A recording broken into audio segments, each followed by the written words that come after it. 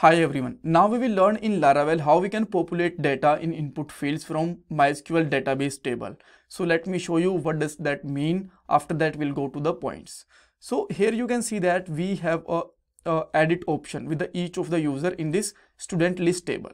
So whenever we are clicking on the edit button, a form will be open there and the data is already present there. So that's what we call populating the data in the input fields. And why this is important? See, whenever we want to edit or update any details of the user or students then if the details are uh, already present then we can easily identify what changes we want to make there and then we can update it. If the all input fields are empty then it's hard to identify like what changes we want to actually make there. So that's why we are actually populating the data in the input fields while we are updating or editing the information for uh, any document or you can say that any data. All right. So what we need to do for that first we have to provide edit option in the table. Then we will make route and controller function. We don't need to make a controller file there. We just need to make a function. Then we will get the data from table with the behalf of id then we will make a html form and populate data in the input fields. And at last we'll discuss some important interview questions this is the playlist for Laravel 11 tutorials and that will definitely help you out for Laravel project, job and interviews. You can access this playlist from the description box of this part. Alright, so now let's move to the code and first let's give the edit option in the table and let me refresh this data. I actually removed all, the, all of these things. So now let's move to the list student.blade.php and let me create there one more link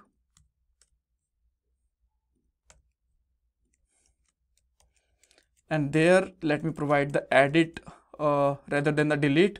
And after that the edit as a text also. And now you will find we have the edit button there.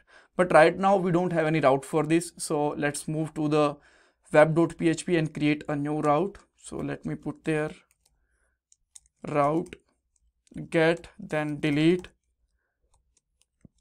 and there we can provide id so that we can delete uh, we can get the details of user on the behalf of this id and then let's provide student controller colon colon class and then provide detail.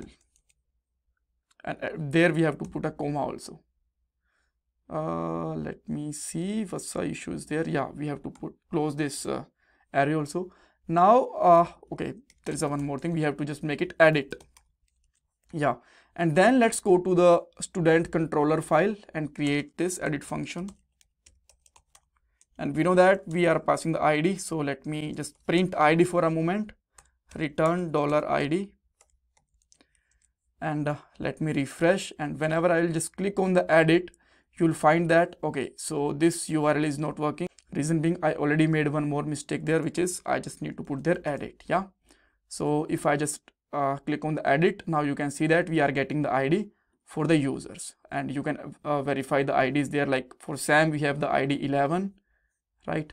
And if i just click on the peter the id should be 2 and here you can see that the id for peter is 2 perfect.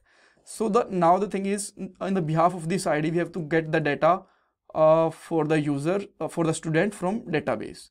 So what you need to do for that so just take a student variable and uh, then just use a student model there and use find function. Pass the id inside this and find function actually worked only on the behalf of id and get the uh, provide the detail uh, for the student. So if i just return there dollar student you will find we have the all the details about the id you can see that these are the Peter's detail. So let's say I'm just clicking on the John, then it should be the John detail. If I just click on the Sam, it should be the Sam's detail and here they are. So the now next thing is we have to populate this data in the uh, HTML form. For that we have to create a new view. So let me create their PHP artisan make view and view name is let's say uh, edit i guess we can mention or edit student we can mention. This is uh, much better. Yeah. After that uh, there you can see that we have the edit student. So let me call the view there. And uh, passing there edit student view name. And in the second parameter let's take dollar as a data as a key and dollar student as a value. Right? So now let's open this edit student and let's provide the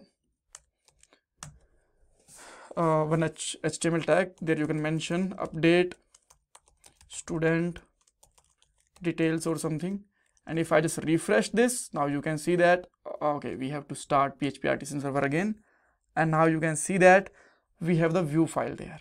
But uh, we have to just create a form first. So let me create a post form. Action will be nothing for now because that will do in the next part. Right now we are just populating the data. You can use csrf token. After that uh, you can take a input field and the name will be the name only. Placeholder we can add. That will be let's say enter name or something and if I just refresh it now you can see that right? So we we are just pass this detail as data in our edit student right? Edit student.blade.php so there what we can do value use double quotes then double uh, curly braces and just simply put there student uh, sorry that is data actually data and then uh, name and you will find there we are getting this name there. So let's say we are we want to update the data for john then we have the john name only because right now we just created only one input field right? Put semicolon at the last and then use 2br so that we can maintain some space and just make three copy of this. Now change name to the email id then enter email id we can mention. And email similarly for last one we can say that phone phone and there we can say that uh,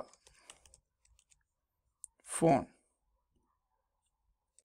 All right so now you can see that we have the old details there. If we just go for the sam still we have detail uh, for peter we have details for everyone. And at last we have to create one button also. So let's create button and uh, you can say that update or update student or edit student. And better is just mention their update details. And now you can just create one link also for list and uh, there you can see that cancel. And if I just refresh this and just click on the edit now we have this cancel button also. If we go to the cancel it will take back to the list and this is how we are working right so that's all like how we can populate the details in uh, the HTML input form and in next part we will update the user details with the help of this form. Thank you so much for watching this part. If you still have any doubt, confusion, you can ask me in the comment section. Thanks guys. Thanks for watching this. And this is my Paytm number for donation.